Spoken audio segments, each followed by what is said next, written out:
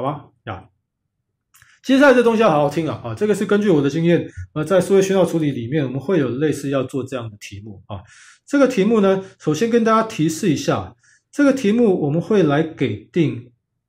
f z 已知的啊，待会马上看这个已知的这个题型是它就是等于 z 加 i 分之一啊，就等于 z 加 i 分之一。然后呢，呃，我们就来练习把这个 z 加 i 分之一这个函数。表层级数展开啊，表层级数展开。但是呢，这里面有一个，不是说但是，应该说这里面有一个比较提纲挈领，要大家呃一定要记得的啊，就是说，当我们在复变里面要呃以级数来展开某一个函数，某个给定的函数啊，那么会要随着到底考虑的区域是什么？区域而会有不同的展开式。我再讲一次啊啊，就是说同一个函数，同一个函数，它在不同的区域就会有不同的展开式啊。所以当然我们这看到这个题目就是非常好的一个范例啊。这个这个这个好的范例呢，我们先来画画看。如果以画个图画，这个 f z 啊 y 轴啊 x 轴，好吗？然后这个 f z 等于 z 加 i 分之一哈，首先我们再让它这个 singularity 上去打个叉啊，打个叉啊，打个叉，所以这就是它的这个 singular point 啊。那我们待会就看到说呢，要求呃，就可以在不同的区域分别 either 做泰勒展开，或是做 Lorentz series expansion，either or 啊。那所以现在跟大家所来推演过一来再再大家推演多一遍，我们就以零为圆心好，在这个题目里面，我们就别的不考虑，先考虑以零为圆心，好吧？以零为圆心，那我们就知道说呢，要做以零为圆心做泰勒展开的话，那成立的范围啊，成立的范围我们知道，当然就是从零开始，我讲说这个范围吧，啊，在这个范围里面啊。在这个现在以零为圆心，它这个去扩张，让它半径扩张，撞到第一个 singularity 之前，言下之意就是半径小于一啊的这个范围里面的，因为这是负 i 啊，这个点是负 i 啊，所以零为圆心，然后这个半径是为一，做一个圆，则在这个圆的内部啊，所以我们是 Taylor expansion 呢，我们来尝试来寻找它啊，在什么范围寻找呢？在 z 小于一的范围来做 Taylor 展开。好吧？啊，所以当然你就可以，我们就可以接下去往下写啊，接下来往下写，所以我们就当然也可以说啊，所以我们知道 f z 呢，它应该要等于什么东西？等于 f of 零啊，加上 f prime 零 z，再加上二阶分之 f double prime 零 z 平方 etc 啊，这是它的级数展开啊，但事实上呢？呃，我们这边要各位去练习、去琢磨的这一类的题型啊，就是说，呃，一除以 z 什么一个 z 的 polynomial 这种的情形啊。如果分子是，呃，我就说，如果分子是一，那分分母是某一个 z 的多项式化，你不要傻傻去真的去做微分啊，哦，不要，这这个是这个叫做傻傻的，啊。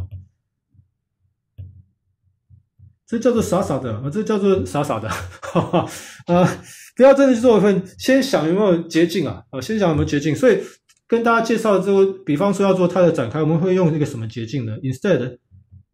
啊，不要这样算了，不要真的去做微分了。Instead，我们来 note that f z 等于 z 加 i 分之一啊，然后我们又希望是。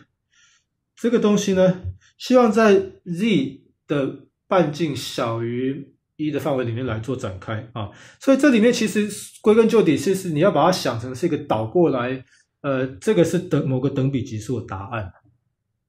我讲一遍哦，你要把它倒过来想，说这个是某个等比级数的最后的答案，然后反过来猜是哪谁是哪一个等比级数最后答案是会等于它。有没有一点感觉？因为等比级数到最后那个公式有没有无穷等比级数啊？总和会说呢，呃，它这个只要是公比小于一，它就会收敛嘛，对不对？那说那个公式有没有长得很像这个东西？如果还没有看出来的话，就非常非常简单了，就先把 i 分之一提出来，那里面东西就变成一加上 i 分之 z，有没有这样子啊？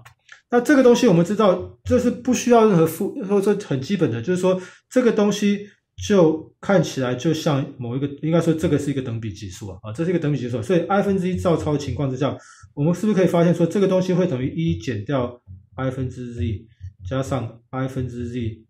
的平方减掉 i 分之 z 的三次方再加减加减，right？As long as for any 只要这个公比的绝对值 z 减 i 是小于一啊，in other words，这其实就是 z 小于一，这样不就把答案凑出来了？我这边顿一下，any question？哎，这就是这样凑啊，所以这个答案就是，其实就是你顶多只是说再再把它写出来会等于 i 分之一啊，所以第一项就是负 i，然后第二项呢减掉呃看起来是负一分之 z 啊。第三项呢，加上 i 的三次方分之 z 就是负，呃，反正 you know 这样子，呃，etc 啊，这就已经是答案了。基本上这就你就每一项的系数都求出来，根本不要去做微分啊，不需要去做，好像为了要求这系数，这个系数，这个系数，这些系数你不需要去做微分啊，这其实是不需要去做微分的，好吧？啊，好。所以这个就是说，这是一个技巧。我希望大家真的是稍微琢琢磨一下啊，会会快很多啦。当然，如果你要去做微分也可以啊，也这个也也会对。为什么一定会对？因为我们已经保证说，只要计算没有错的情况之下呢，它的展开是唯一，就是 is uniquely determined。That's why 我们可以用猜的，可以用技巧，可以用观察说啊，这个不就看起来像等比级数。就把答案凑出来，只要凑出来，你凑得出来，reasonable 啊，正好收敛范围也是，这纯粹是一个等比级数的一个观念啊。只要这个公比的绝对值，但我们现在公比是负数啊，所以我说这个公比，公比绝对值小于一的话，那这个等号会成立啊，这个等号是会成立的啊，这个等号是会成立的，等号成立，只要。只要什么？只要那个公比啊，公比的绝对值小于一，等号就成立啊，好吗？这样了解吗？有没有有没有疑问？这里，哎，啊，这里没有疑问的话，我就再往下讲。这个 Lorentz series expansion 也是类似啊，所以我们来看看说呢，现现在如果题目求说，我们来尝试 Lorentz series expansion at 什么 z。大于一的范围，好吗？言下之意就是说，在这个外面啊，在这个外面，在这个区域的外面做 Lorentz series expansion 啊，在它以外，那我们知道说，哎，检查一下有没有符合刚刚那个所有的这个定理的规定，这个函数本身 f z 有没有在这个环状区域？但，我们这边就是说，第二个同心圆的这个半径是趋近无穷大啊，这无所谓，有没有在这个？这个范围里面都是，所以第一个，当我们被要求说要做 Lorentz expansion at 某个范围的时候，哦，第一个我们就是先问啊，先去检查说，诶，在这个范围里面，f z is it? Is analytic? Is it analytic at 要给定的这个范围？啊，这是一个环状，这基本上是一个环状区域。啊，那事实上也是有，因为 f z 唯一它不 analytic 只有一个点，只有在一个点上不 analytic，所以在这个环状区域，呃，确实是，呃，它是呃 analytic，所以我们就说这个 f z 呢，按照刚刚那个定理，it permits a unique Lorentz series expansion，啊，所以可以 Lorentz series 展开是可以的，啊，那所以是可以的话呢，again 我们要去做这个计算呢，也不要傻傻的，啊，不要傻傻去 apply 科学积分公式，instead 我们要问的是。观察啊，note that。所以你看呢，这边就是一个很好的例子。f z 呢，问在原子里面，你会发现它总之它本来定义就是 z 加 i 分之一啊。但是现在为了要把它做 Lorentz series expansion，我们会希望把它看出某一个，它会写成某一个等比级数，并且那个等比级数它导过来的时候公比在这个范围里面，在这个给定的范围里面，那个公比是要绝对值要小于一啊。所以怎么凑答案呢？怎么凑答案？呃，我这边就卖个关子啊，待会儿这个你们也可以思考看看。十分钟后我们来看一下，对一下我们的你凑出来答案跟我们我待会儿要介绍是不是一样？好，我们就进这边休息十分钟啊。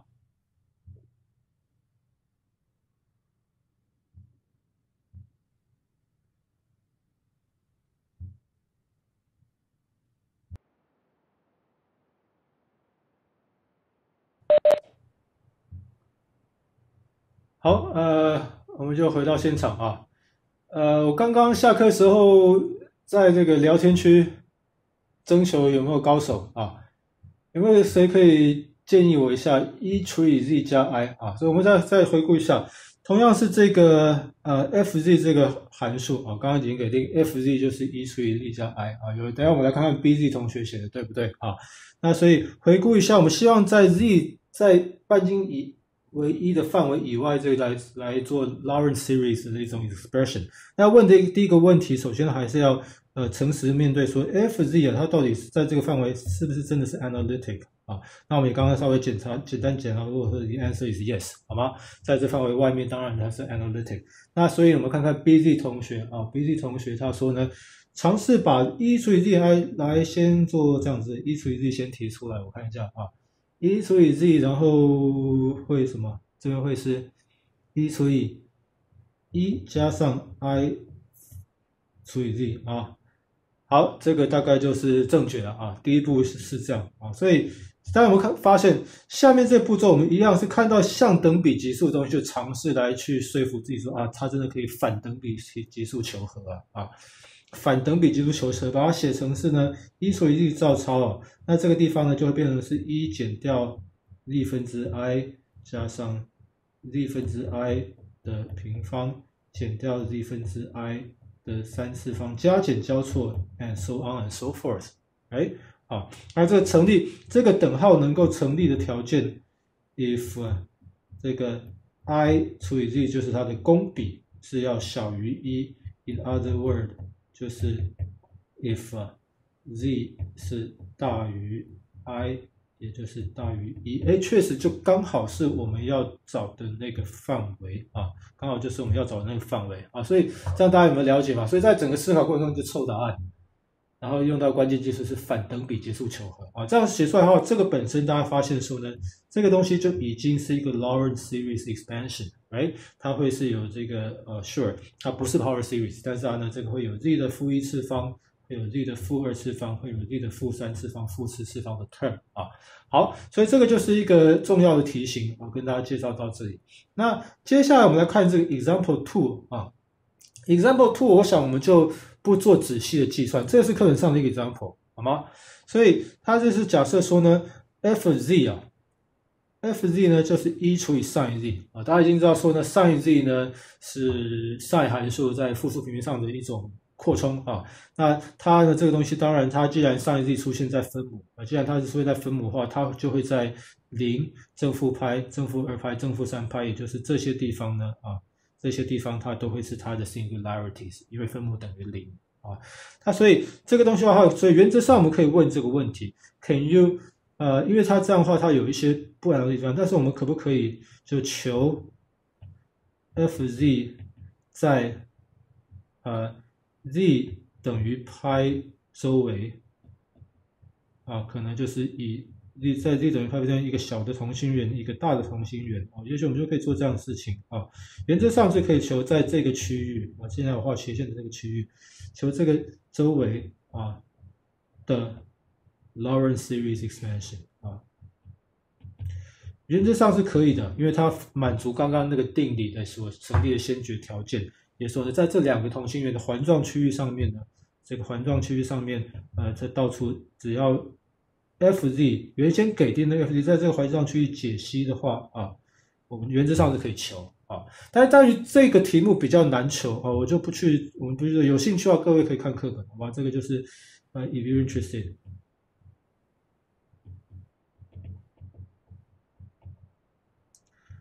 去看看说，啊，怎么解啊？看看如何解啊？原则上呢，可以把 f of z 可以把它描写成 summation c n，然后是 z 减派的 n 次方，n 可以从负一从大到无穷大啊，在这个范围里面啊。这题 I promise you 我不考啊，这题我觉得是呃。实用上我从来没有看过任何的应用啊，不像刚刚那个 z 加 i 分之那种题目在讯号处理里面用超多的啊，所以在实用上我从来没看过这个题目需要去用到，所以呃，但是也蛮有趣，它的这个求解过程蛮有趣，各位可以参考课本，如果大家有兴趣的话啊，原则上可以这样做。好，那所以 Any question here？可以吗？好，谢谢 BZ 同学啊。好，呃，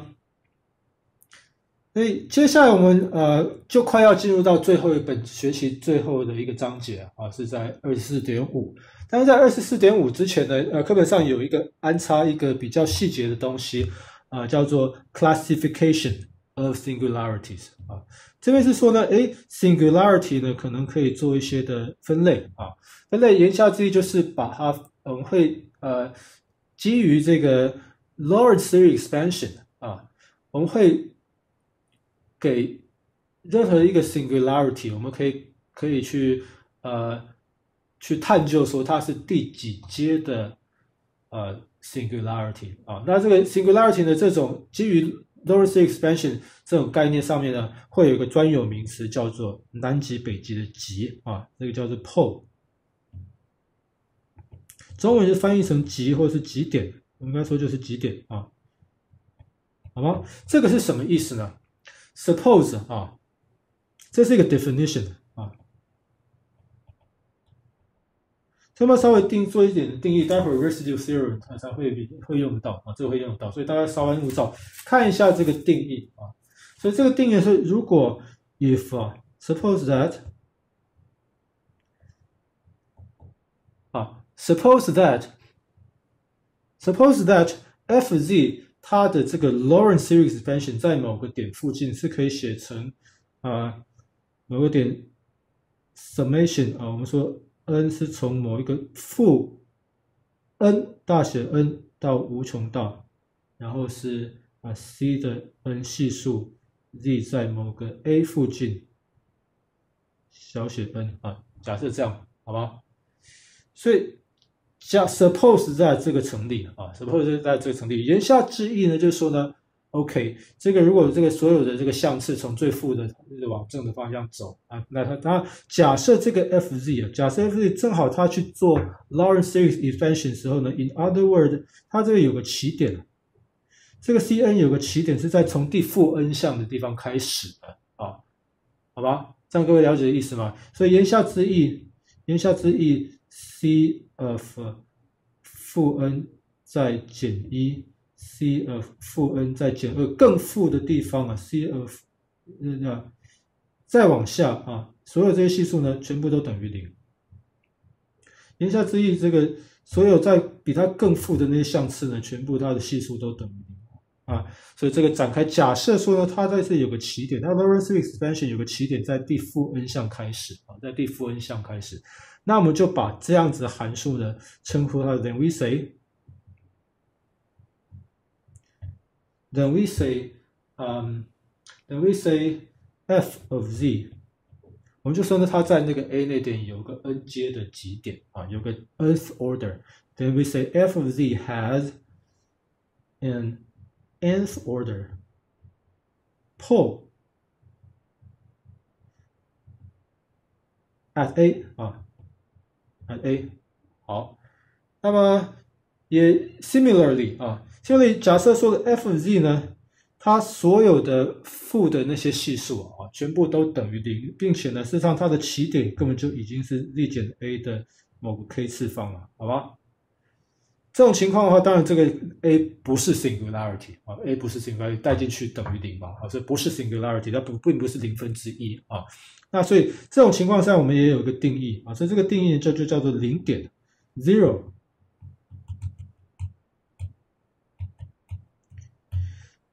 所以，我们就是如果 suppose that 一样啊，suppose that f z 在某个 a 附近呢，它可以做这样子的泰勒展开。那 then we say 这个 f z has a case order 啊，case order zero at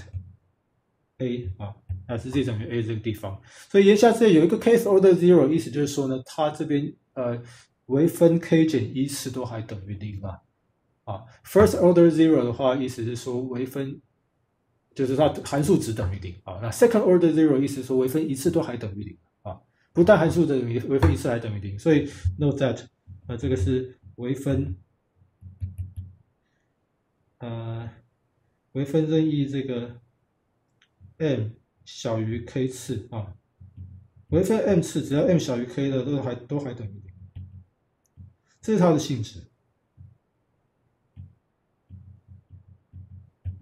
好，那至于这个呃等于零不是等于一啊？那至于这个极点，所以说我们现在有 pole 有 zero 啊，有 pole 有这这个 terminology，其实在很多的领域都用到，在 even 在，我相信其实我有没有同学有学电子学的？电子学里面也有啊，电子学里面，呃，诶，其实电子学也用到负变的，这样讲起来啊，讲到这边，电子学里面在设计一个一个长话短说，设计一个电路类比电路的话，也是讲这个啊，频率响应在它的如果它的 system function 写成一个什么 Laplace transform 啊，在 Laplace transform S domain 里面，哪些地方有极点的话，就会影响到这个电路的它的输入数之间的频率响应啊，所以这个嗯，临时想到。那跟各位稍微 link 一下啊，连接往后的连接呢，这个在电子学会也也是，只是说我们是 Z，所以会把它写成叫做 A 了啊，就叫做 S 啊，这个会也会有极所谓的极点啊这种的说法啊，这种说法。哎，嗯，好，但是大家可能会比较好奇，零点的意思当然是函数值等于零叫零点，那可能会好奇说，哎，为什么函数这个极点会取名叫做 pole 啊？极点为什么要取名叫做 pole？好吗？好，这个它有一定的原因了啊，它实际上有一定原因。你会想象说呢，pole 就像是所谓的 pole，在英文里面，大家知道撑杆跳的英文叫什么？撑杆跳的英文那个杆子啊，就叫做 pole 啊，所以这个升杆跳的英文叫做用杆子来跳嘛，pole vaulting。啊，vaulting 啊，今天真是讲题外话比较多，跳马啊，杆子。好吗？所以在英文里面，杆杆子啊，用杆子来跳嘛，就叫撑杆叫 pole vaulting。所以 pole 的意思就是一个。就像旗杆了，旗杆这种叫做叫一个 pole 啊，所以极点你可以想象说，在那个点上面函数就是报到无穷大，报到负无穷大，它是 not defined 啊。那所以这个 roughly speaking，所以 that's why 我们会把这个 singularity 把它命名叫做极点。只是说呢，现在如果它的回到正题，如果它的 Lorentz series expansion 有个七，有个开头的第一项，第一项是第负 n 次的话，我们就说这个这个函数呢，在这个 a 的地方就有个 n 次项的 n 阶的极点 nth order 的 pole 啊，所以。只是一些的，呃，with that，我们就可以终于可以进入到下一个章节，叫做 residue theorem，啊，叫 residue theorem。好，所以这个呢，啊，residue theorem，我喝个水啊，抱歉。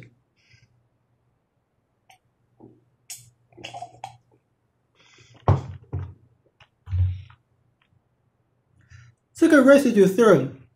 啊。 后续我们会在这个章节听比较久，因为它有相当多的例题，我们要挑着看啊，相当多的例题要挑着看，然后呃，计算的一些技巧啊都有，所以这个 perfectly 这这章大家要留意，这个章节大家一一定会考啊。好，所以 residue theorem 呢，它是告诉我们，again 我们是假设呃有一个封闭区曲线啊，有一个呃 assume that 呃，我就慢慢讲啊。假设在这个现在画这张图里面，假设我们这个有 z one，举例有 z one z two 两个 singularity 啊，singular point，好吧，singular point。然后假设呢，c 我们这个 c 是绕着呃这个封闭曲线，绕着 z one z two 的某一个逆时钟的封闭曲线，呃，甚至在呃。然后，并且我们就假设说呢，在 C 的内部啊，在 C 的内部到处都是 F 是 analytic，except 就是在 Z 另外跟 Z 出这两个 singularity，只有两个 singularity，没有其他，好吧？在 C 的内部有两个 singularity，先假设有一个这样情况啊，有一个这样的情况的话呢，我们就要考虑，当然各位可以猜得到，我们就是要来做什么事情呢？要来求。接下来想要做的事情又是绕着一圈求积分啊，绕一圈来求积分，绕一圈求积分啊。所以这种的题目我们先前其实有稍微有看过啊。先前其实如果大家记得，我们有有出过一个这样子的 recall 啊，recall 我们先前有做过一个这种题目啊。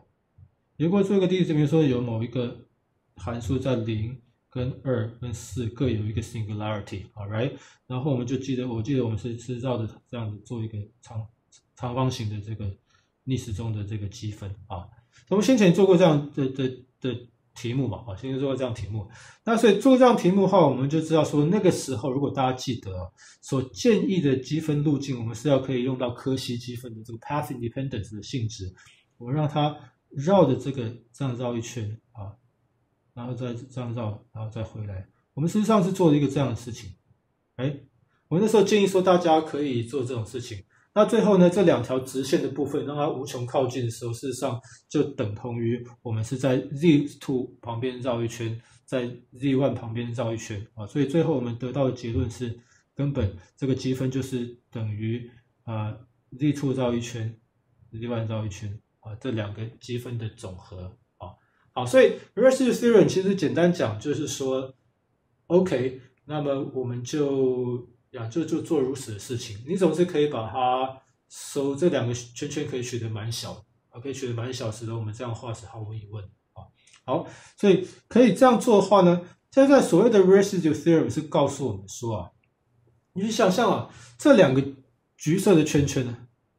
这两个圈圈呢？啊，z two 的圈圈，这个 z one 圈圈，绕一圈的积分当然就会只跟呃 z one z two 那边说出来就只跟在 z one z two 这两个 singularity 的那个负一次方向的系数有关了，只跟那个负一次方向的系数有关啊。这事实上也就是我们刚刚在做的这件事情啊。刚刚费劲带大家检查这个东西，就说呢，当我们绕着某个 singularity 附近。绕着某个 singularity 附近去，呃，其实也，哎呀，这边是在在在讲什么啊？其实有用到类似事情。刚我们在讲说，绕着某个 singularity 附近呀，对这个东西啊，其实刚刚已经用到一个这个结论，就是说，当我们绕着某个地方附近去做，在 A 的附近去做一个级数。的绕一圈积分之后，最后 eventually 只跟那个 zeta 减 a 是等于负一次方那个 term 的系数有关，跟其他全部都无关啊，跟其他全部都无关。我们已经用到这个性质，那这个也是先前就呃，甚至你不需要任何其他知识，这个是在只要定义复变积分的时候就已经可以求得出来的东西啊，直接用变数变换就可以得到结论啊，这个甚至不需要任何的科西积分的概念在啊，所以呃，所以。到头来，我们就会做这样的建议啊。还是回到这个题目，还是回到这个题目，我们说呢，呃，f z 啊，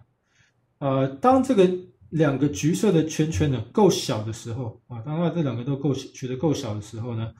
我们就可以做什么事情呢？我们就分别各个击破啊，我们就来做个别处理啊。我说叫做个别处理。本来是绕着大外圈做一个一个很嘛，可能是颇大的路径，当然我们会看到非常多的例很大的路径去做。但是 it matters only the only thing matters 是说这个大的圈圈里面到底围了多少个 singularity，一个、两个、三个、四五、六个没有关系，有多少个 singularity 围在里面，被它包在里面。如果这被被包在里面的话呢，所以整个积分的总和就会等于各自绕小圈圈积分的总和，而各自绕小圈圈的积分的的值呢，最后只跟在它附近，在这个 z one 附近，在 z two 部附近，我把 z two 部分也写上来啊，z 部分也写上来，n 等于负穷大。假设在 z two 的附近呢，是可以做如此的。我这边讲说 at z z one 附近，z one 很附近啊，啊 z one 很附近，such that 这个 Lorentz series expansion 可以成立啊，让大家了解啊，同心圆那些的啊。很附近啊，我就比较模糊讲很附近。那 Z 附近也是一样，假设在 Z 附近呢，这个可以做这样子的，不是假设，因为我们一定可以做这样子。应该说我们一定可以，只要是够附近的话，我们一定可以在 Z one 附近、Z two 附近分别尝试来做呃 Lorentz series expansion，好吧？所以写到这边的话，大家请注意到说呢，分别做 Lorentz series expansion，所以首先呢，圆心就已经不一样了啊。那所以它当然这些系数也都不会一样，所以我们就是用这个系数这边，大家稍微仔细看一下，啊，系数这里就有一个上标，有一个上标刮弧一就上标啊，表示是在 z one 的附近或是在这个 z two 的附近啊，来做 Lorentz series expansion，原则上可以做啊，原则上可以做。那如果总之，待会我们就会看例子，那怎么做？求这个的技巧还有点点有趣啊。但我们先卖个关子，到底 C 呃看一些例子说，那那呃呃重点是那个负一次方系系数才才是真的 matter 啊。因为呃绕着一圈做积分的时候，最后呢在那附近只跟负一次方内向的系数有关，所以呢，总之这个绕一大圈来做积分呢，它的结果就会等于二派 i 去乘上这个一这个 singularity 附近的负一的系数，加上二这个 singularity 附近那个负一的系数，这样子就这就是我们啊。Residue theorem 的整个的精神，好吗？Any question here？这样子讲，大致了解吗？好，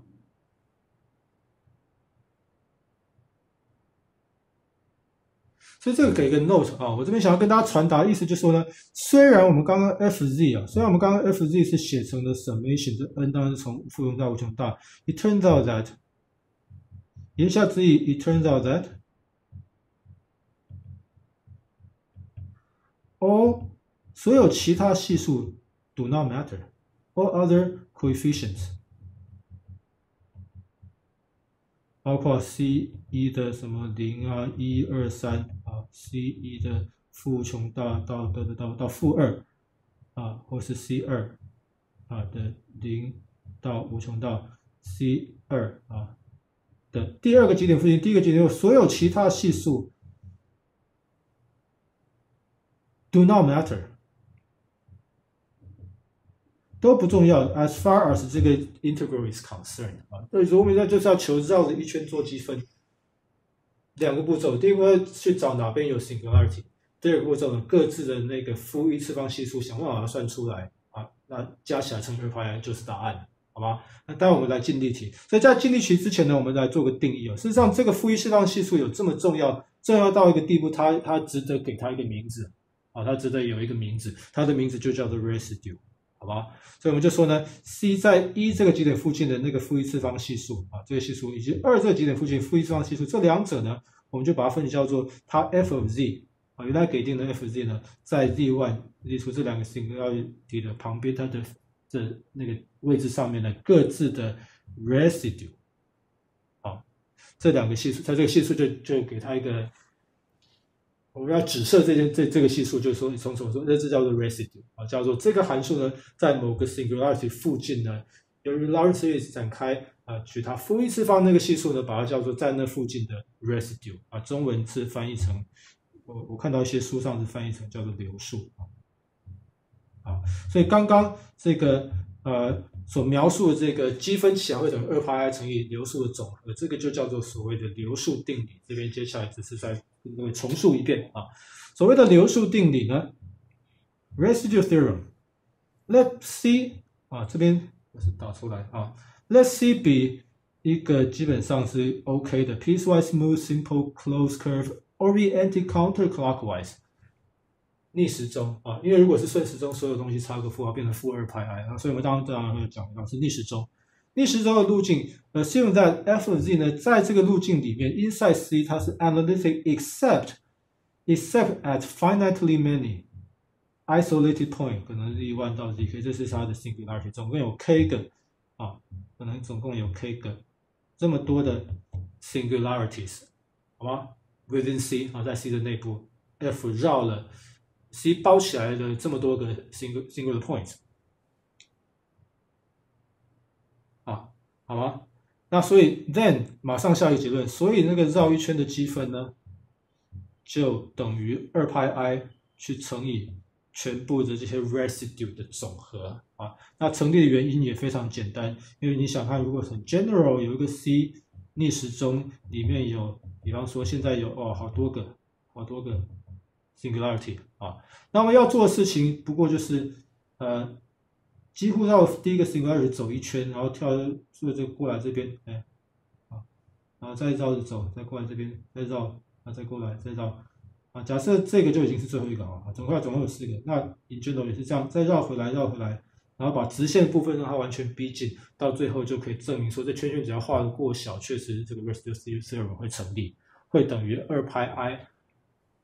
乘上所有这个负一次方系数的总和，我们把它叫做 residue theorem，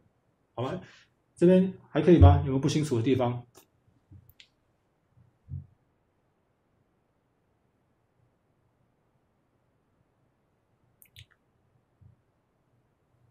好，所以接下来我们就来先看几个例子啊。我们来看，可能这边就是今天我们就看两个例子，好吗？我们应该有时间看两个例子啊。这第一个例子呢，会是现在看到这个 example one 啊。然后第二个例子，哎，我这边没有写第二个例子，哎呦。看完以后，我们来讲一个重要计算技巧啊。这个是其实今天有个重点是在计这个计算技巧上面。然后我们来看一个课本上会用到那个技巧的范例啊。所以第一个题目倒是还没有用到这个技巧，所以我们就去慢慢看。第一个题目呢，呃，是说呢，假设 c 是啊，好，我们来看 c 假设是一个 z 等于一，这上面 again 我们总是逆时钟来跑啊，逆时钟来跑。然后呢，这个 contour 上面我们要求呃这个函数啊。的积分，好吧，这个函数的积分啊，那所以这个函数的积分的话，我们就要问的事情是说呢，嗯，它在哪里有 singularity 啊？它是在哪里会有 singularity？哦，在哪里会有 singularity？就是说，呃，看起来哈，看起来是，所以我们要问。既然这是一个流数定理的题目啊，所以我们要问说，在 C 的 within C 啊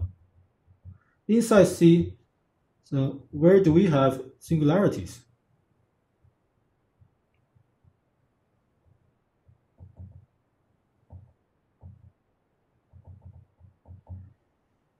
所以意思就是说，看起来啊，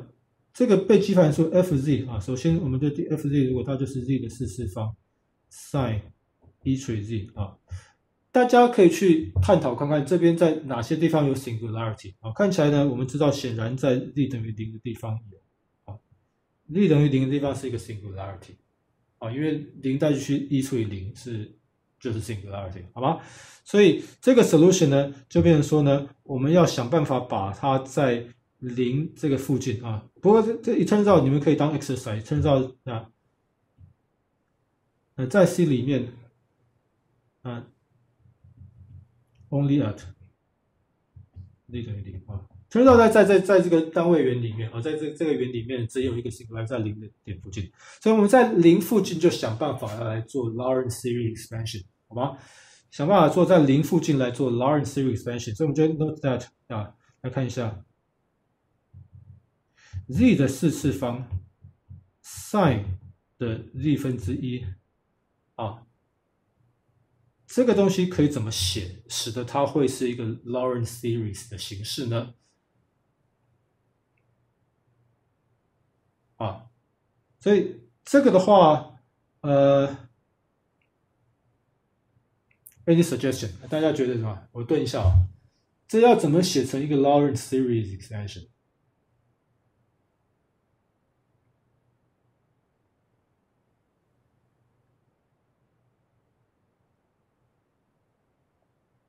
怎么写呢？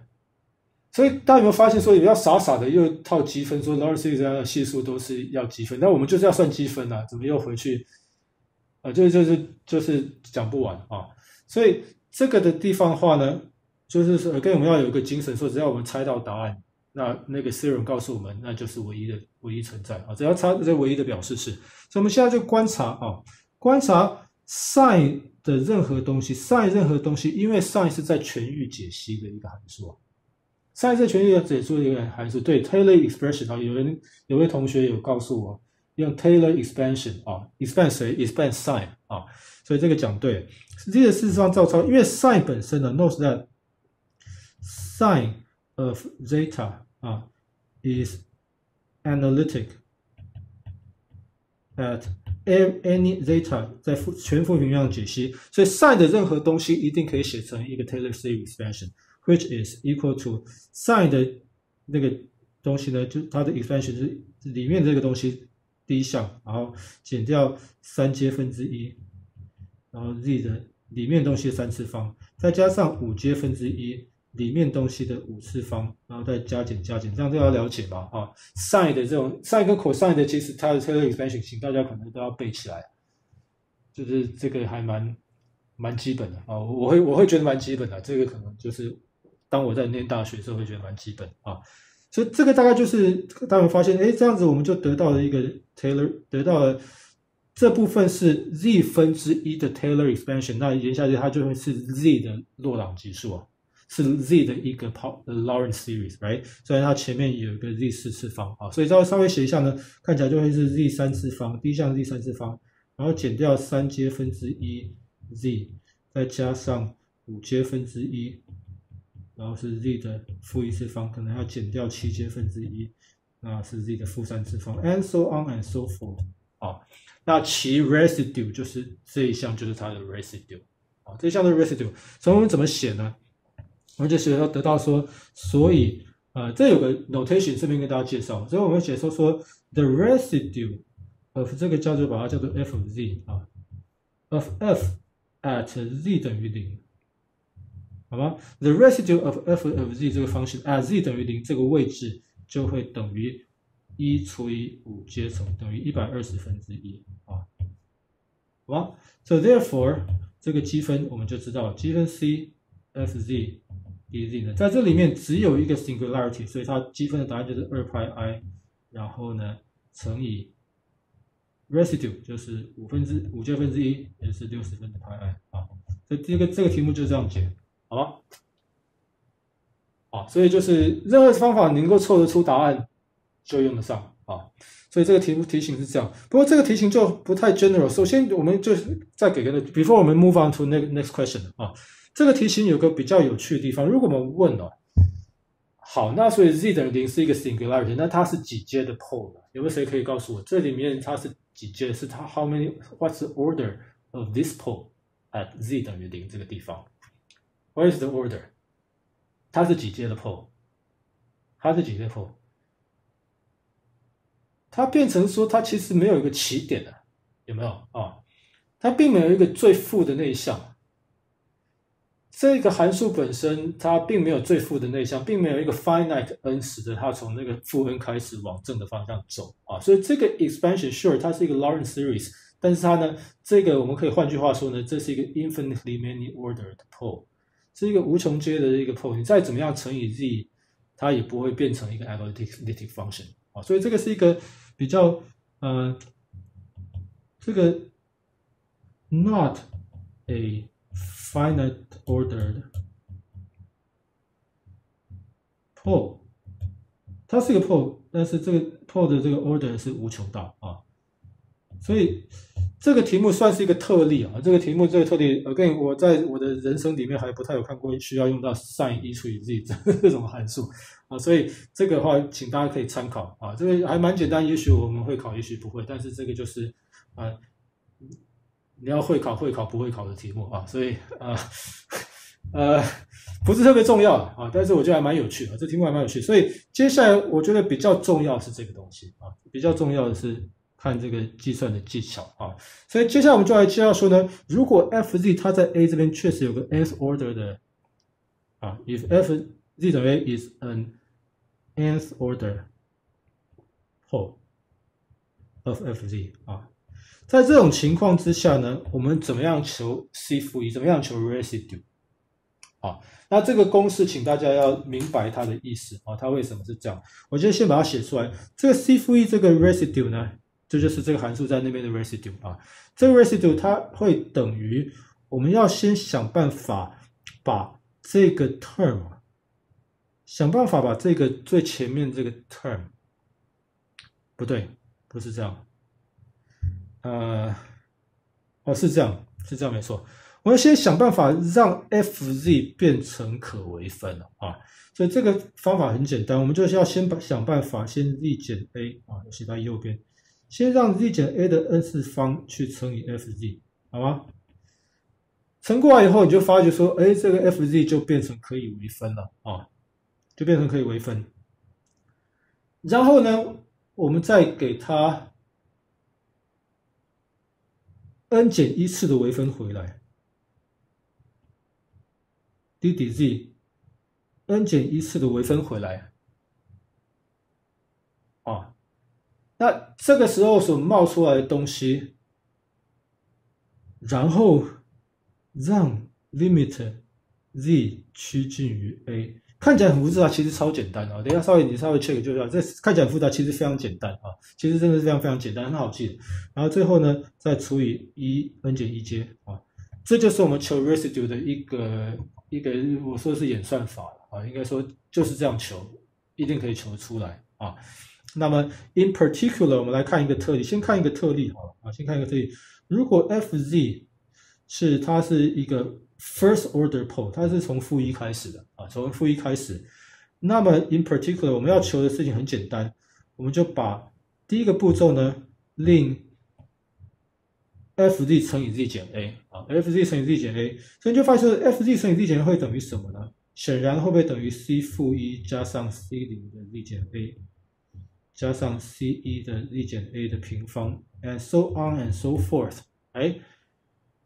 那所以自然而然，你我们令 limit z 趋近于 a 的时候啊，让 limit z 趋近于 a 的时候呢，后面的每一项就通通都不见了，哎，那剩下的不就是就是等于 c 负一吗？是这个意思啊，是这个意思，这样各位了解吗？这样可以了解吗？这很重要，这个一定要要会啊，啊，因为等一下我们就要用到，等一下马上就去看范例啊，在今天下课之前看一个范例，嗯，好。希望大家一个点，那所以这个 general 公式，各位这只是稍微复杂一点点而已啊。你们去看看，说这个是不是一定要这样成立啊？只要把那个 nth order pole 想办法把它蹦到那个常数次，然后再微分、微分、微分回来，微分 n 减一次时 c 负一那项变成首项，基本上就这个意思而已啊。然后这因为每微分一次就有一个乘以 n 减乘以一乘以二乘以三乘以四，这边就有 n 减一阶要把它除回来。啊，这个地方要把它除回来，大概这个公式就是这样来记忆啊。所以这个话呢，我们就立刻就进一个例子啊，来立刻看一个例子，就结束今天的上课啊。这个讲完之后，我们今天上课就结束。好，这个范例是在课本里面啊。那在这个例子里面呢，f z 然后给定是这样的情况，给定一个这样情况。那然后呢，我们令这个 c 是呃绕着这两个 singularity 去逆时钟绕一圈啊，绕他们两个绕一圈。啊事实上，我们先前啊看过类似的例子，所以以前呢，上一次啊，先前啊，先前我们看这个例子的时候，是我们的建议是说呢，要先把 f z 做反有理化啊，所以我们先前会可能会建议，先前方法会建议 f z 要让它反有理化，它写成 z 减一的三次方分之 a 加上 z 减一的平方分之 b。加上 z 减一分之 c，再加上 z 加四分之 d 啊。但事实上，各位可以发现说，这个的精髓也基本上就是说各个击破啊。基本上的意思就是说，在这两个 singularity 附近分别的啊，可以分别的做 Lorentz series expansion 啊，但是 not exactly 啊，not not really not not exactly 啊。但是我先讲到这边是说，是。呃，那个精神是相通的，只是现在呢，我们因为待会儿就是这个例题要秀给我们看的，就是说，因为有这个快捷的公式啊，这个东西真是快啊，这东西真是快，这个公式就造成我们可以不用去求 A B C D 了，可以更快一点，好吗？这可以更快一点啊，所以我们现在的话就知道说呢，总之 apply。学了这个 residue theorem 以后呢，我们来看一下到底是更快是可以多快啊？可以省步骤，不用求 a b c d，只要求那两个 residue 啊。所以这个话我们就知道会它应该要等于呃两个 residue，residue of f at z 等于负一，呃等于正一，sorry 啊，跟加上 residue of f at z 等于负四。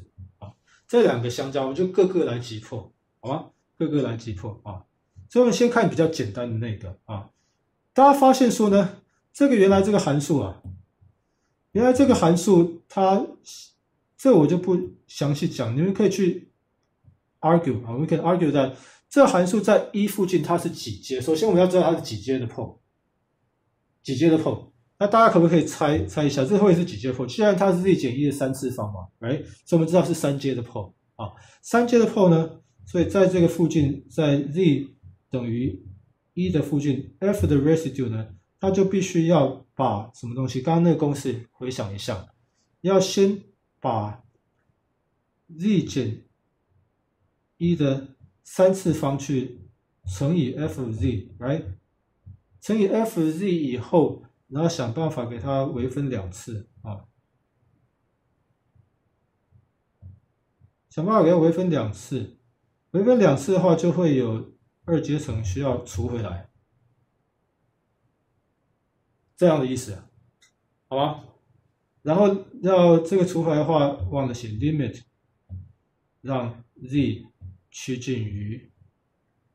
在除外结果再让 z 去趋近于谁啊？趋近于一啊，这就有出来一个这样的一个，我不办法讲叫公式，我认为这其实是个一个演算法啊，这些是个演算法。好，所以接下来就是套进去试试看了啊，不是 z 加一，是 z 减一啊，写错，z 减一啊，所以就套看，所以这个东西我们看一下，z 减一的三次方乘上 f(z) 呢，是等于这边这个部分其实等于 z 加四分之一的。所以 z 加四分之一我们要给它微分两次啊，所以 limit 照抄，呃 z 趋近于一，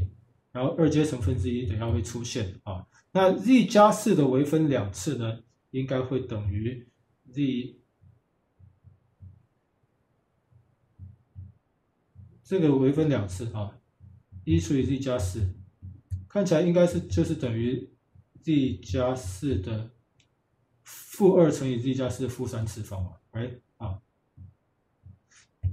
等于这个啊，那所以这边的话呢，微分两次的结果就是，啊，这是二啊，这是 z 啊，z 加四的三次方分之负二，然呀，就是就是这个样子，好吧？所以大家了解这个计算吗？所以这计算其实就是要小心一点而已啊。所以再算出来的话，所以这个 residue。Z 在一附近的 residue 那个负一次方向的系数呢，就会等于看起来就是二阶分之一乘上一 z 趋近于一套进去，毫无悬念，一加四的三次方分之负二，看起来就是啊，整理一下，哎，啊，所以应该有负二，有负一了啊，所以我刚刚跟这个。负一次方负二，负二次方负三啊，对啊，所以这边是是正二啊，所以这边的话看起来答案是一百二十五分之一，啊，这样子，然后第二个部分就其实就比较简单了啊，再算一次，在 z 等于负四的那个地方啊，f 的 r 那在 z 等于负四这个地地方呢，它是一个呃，看起来是一阶的啊，是一个 first order 的 pole，那所以这个更简单。我们就会有答案，就是先把那个，哎，先把那个一样套用这个演算法，z 加四要去乘以 f z 啊，使得其实负一次方也就不用微分了，直接 limit 啊，就不用微分了，z 趋近于啊负四啊，所以这个的话就会等于 z 趋近于负四呢，z 加四乘上 f z。Z 加四乘上 f z 是谁呢？这个这部分是等于 z 减一的三次方分之一啊，好吧？所以这个就是变成是 limit z 趋近于负四，z 减一的三次方分之一等于啊等于有了负四减一的三次方分之一等于一百二十五分之负一。好吗？那所以最后的答案，所以 i 呢就等于二派 i，所以在这个 case 里面很碰巧啊，我觉得这应该只是碰巧，一百二十五分之一加上一百二十五分之负一，那刚好等于零啊，这有点有点 disappointing，算半天答案等于零啊，好。所以这个大概就是今天上课上到这里啊，今天上课上到这里，嗯，接下来呃，好，太厉害了，Peter，好，那呃，谢谢 Peter，好，Any question？我接下来可能要留个几分钟啊，如果觉得 Any question？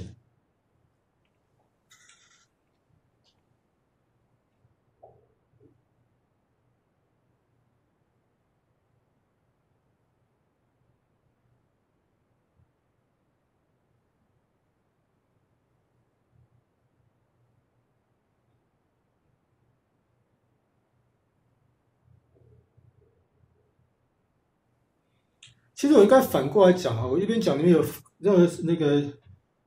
疑问就就打出来啊，或者打断我讲话也可以啊。好，其实这个我现在想起来啊，这个反有理是呃，当然我们在这个题目只是要算绕一圈积分的话，这样并不重要啊。所有其因为我已经讲过，在在任何其他次，只有负一次方那个次的那个系数重要，其他都不重要。但在讯号处理的时候呢？那需要处理这个领域里面，我们会有机会说这 A、B、C、D 都要求出来，这倒是啊。当我们在研究一个系统它的一些的行为的时候，一个所谓的线性的这个 linear time invariant system，它的一些行为的时候，有时候会用到这个例题。那所以是类似的精神啊，乘上了什么以后再微分回来，然后让让 limit 要刚好可以凑得到答案啊。所以这个呃，各位有兴趣的话，这后续其实是。当然，这类的东西现在用电脑都可以直接都有套件可以用，所以大家就就自从那个自从有越来越多套件可以用，MATLAB、Python、拍那个那个这些啊，赛拍赛拍这些东西弄拍啊，自从有些套件以后，大家数学越来越弱，因为这些东西都可以直接直接呼叫一些函数算出来啊。那但是这个它的这个确实跟复变是有连接。Any question？今天有没有不不清楚的地方？那我我先停止录影，先停止录影。